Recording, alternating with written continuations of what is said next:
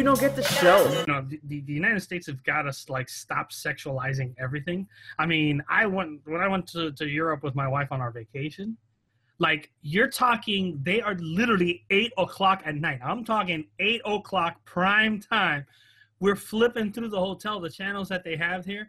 They literally have a channel that's almost like a phone number, which is probably a sex line with pretty much softcore porn going on. And this is a channel on TV at eight o'clock at night. I was channel surfing, and it was one of those like, you know, you like skip by the channel, you're just tick, tick, tick going through because it was like right in the middle of. And the funny thing is, it was right in the middle of all the public access channels on top of that. Some tick, tick, tick, and I'm like. Service yeah, and I'm like, think, think, think, and all of a sudden, like, I was skipping through, and I'm like, I think I just saw a boob, and I'm like, I backed up, and I'm like, there's a woman getting like, my wife looked, and she's like, what the hell is this shit? And I'm like, I don't know. I'm like, I was just flipping through channels, and I freaking see this shit. I'm like, what the fuck? And she was like, what the hell is that doing on TV? I'm like, fucking I know. I'm like, it's eight o'clock at night. I thought I'm like, wait, is it later than we think it is? I'm like, no, it's eight o'clock at night. What the fuck is this? There's too many repressed people. I mean, that's why they say like the porn industry and especially um, like when you see like pay per view, a lot of places where you have people that are super conservative, and I mean conservative, oh, yeah. not in Republican conservative.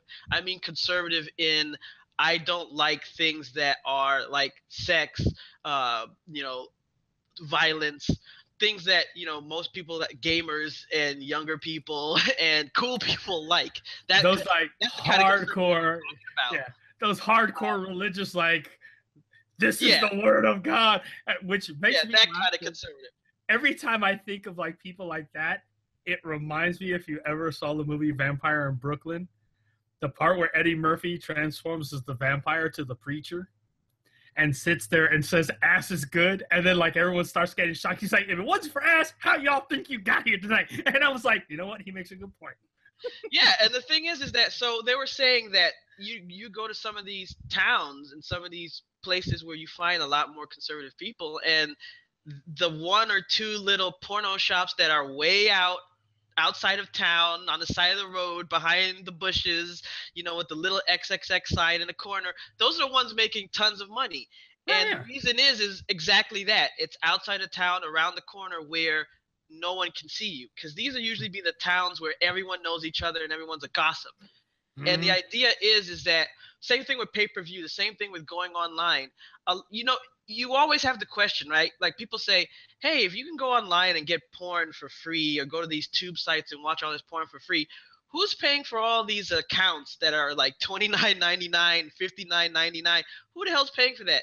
These are the conservative people that don't know about these free accounts. Mm-hmm. And the point is, is that they're so used to going in the shadows, they want everyone else to do it. Mm-hmm. It's not like they want it to disappear because if all of a sudden you could snap your fingers and all of it disappeared, they'd be pissed off too. They just want it hidden. So they're like, hey, listen, if I have to sneak off in the middle of the night and pretend that I'm going to buy some milk to go get my porno tape and then go down into the basement and watch it in the corner, you need to do it too. And everyone else is like, no, I want to watch I want to watch it on the train on my iPhone like that guy in the picture. Yeah. I don't want to hide that shit. and it's like fuck it.